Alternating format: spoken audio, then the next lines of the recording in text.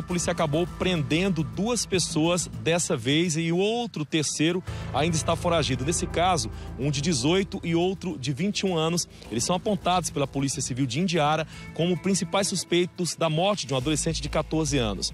O corpo desse adolescente foi encontrado no dia 27 de outubro do ano passado, com ah, parcialmente queimado e com várias marcas, possivelmente de faca. Tudo isso começou quando a polícia então encontrou o tênis de um desses suspeitos com muito sangue. Depois da perícia foi feita, esse sangue foi comprovado que se tratava sim do sangue do adolescente. Houve aí né, todo um trabalho da polícia até chegar essas duas pessoas e a, a, a, o principal suspeito nesse caso, mas uma outra pessoa, um terceiro envolvido, está sendo procurado pela polícia. Nesse caso, Silvia, esses dois homens agiram com muita crueldade, mataram esse adolescente de apenas 14 anos, possivelmente usando uma faca, furaram bastante esse adolescente e depois colocaram fogo no corpo desse adolescente. Os dois, na hora da prisão, eles acabaram negando a participação, mas a polícia disse ter indícios suficientes para apontar que esses dois homens participaram sim diretamente desse crime. Silvia.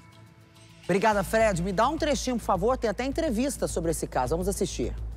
Após tomarem conhecimento que havia aqui na cidade de Quirinópolis um indivíduo foragido da justiça por ter praticado um crime de homicídio qualificado na cidade de Indiara, é, crime este nefasto, um crime com requintes de crueldade, é, haja vista que o autor, esse meliante, ele além de esfaquear a vítima, ele ainda ateou fogo nesse menor.